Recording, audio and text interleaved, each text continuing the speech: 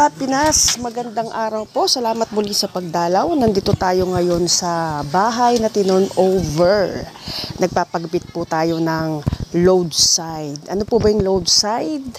Ito po yung connection ng kuryente mula doon sa meter base papunta sa bahay, sa switch ng bahay. Bakit kami nagpapakabit kasi ito ay hindi na ikabit ng aming kontraktor nung kausap namin kasi po doble ang sinisingil sa amin. Kaya kayo po mga nagpapakabit ng ah, kuryente sa bandang Tansa at Rosario, meron pong tatlong ah, paraan dito ng pagpapakabit ng ilaw or ng kuryente.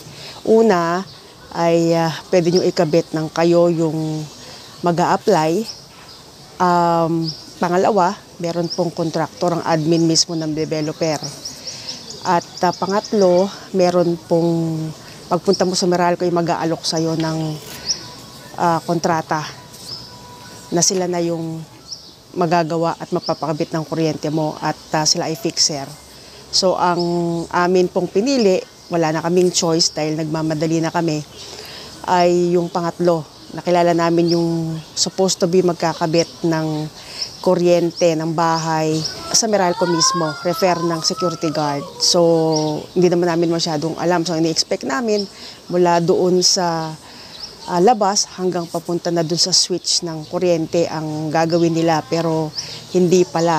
Naningil sila ng 6,500. Yung pala, meter base lang yung kinabit nila. Tapos another 6,500 para naman doon sa load side. Which is nung nagtanong kami ay dapat kasama na yun sa 6.5. So, nakakairita kasi may mga talagang tao na, alam mo yon uh, ganun, nag, ah, wala nang ang pera yung tao na papagawa ng bahay pagkatapos ay ah, lolokohin ka pa at peperahan ka pa. Anyway, um, sa awan ng Diyos po, napakabit namin.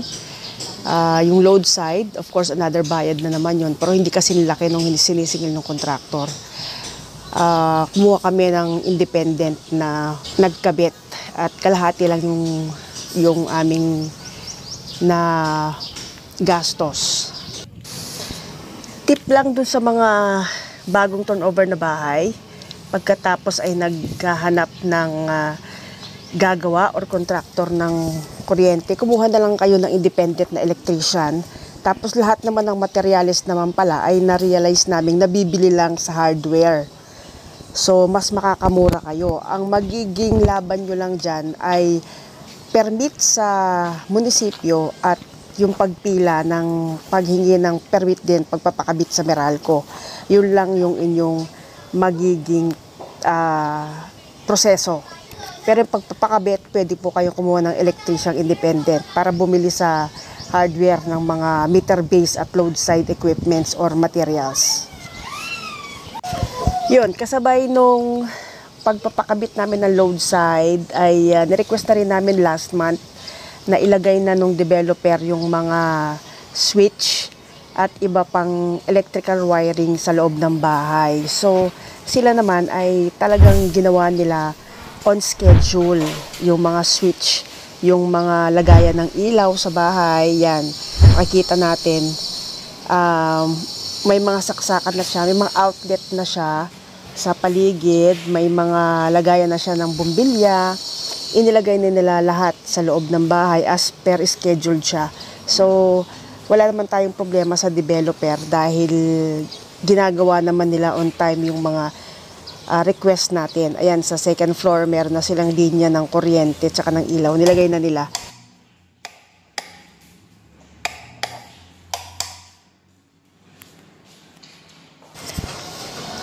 Yan. Oh, nakita niyo nakapaligid yung mga switch and outlet na inilagay ng developer. Pati yung sa banyo, sa shower, yan nilagyan na nila. Ilaw.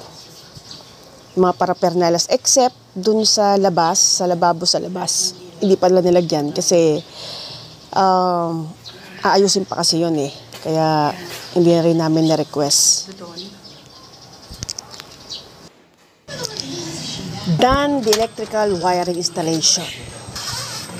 Three days later. dumating yung ah, inspector nung contractor na nakilala namin sa Meralco para mai-report na nila sa Meralco na okay na lahat ng wiring para maikabit na rin nila yung kuryente. So, yan, sipat-sipat siya, tingin-tingin. Ewan ko kung anong tinitingnan niya. Tumatawag siya dun sa kanyang opisina.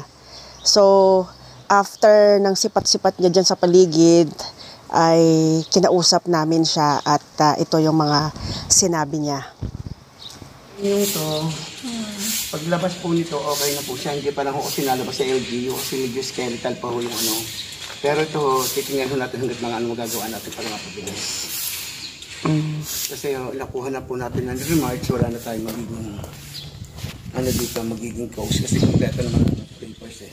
Oo, hindi. Pagka, kasi ang sabi ay kukontratahan na siya ng.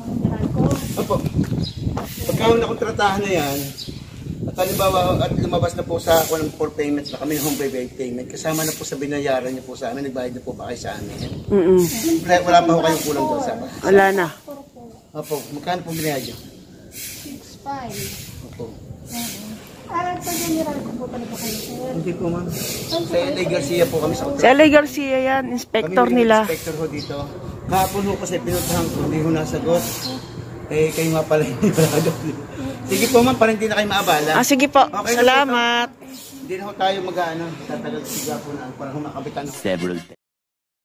Sa wakas ay nakabit na rin po yung ah, ilaw ng bahay na ito. At ah, tip lang po sa mga nag-a-apply ng ilaw, kayo na po ang lumarga at ah, mag-apply ng sarilyong ilaw. Wag na po kayong umasa sa mga kontraktor at makukonsumi lang po kayo. Ah, yan po ang pinakamaganda. Kumuha na lang po kayo ng electrician. Marami po dyan. Magtanong lang kayo. Okay po. Maraming salamat mga kapinas. See you on the next video.